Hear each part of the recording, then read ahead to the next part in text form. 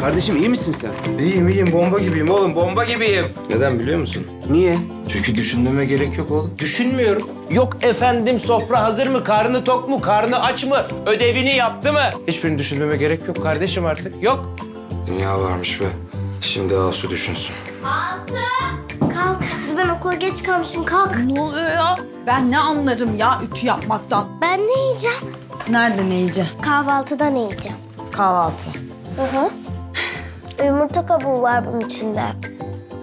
Nasıl? Ben yemem bunu.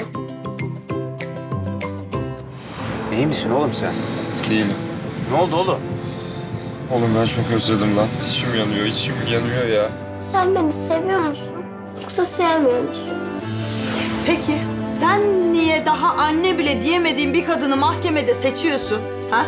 Sen niye beni seçip hem kendi hayatını hem de benim hayatımı mahvediyorsun? Söylesene!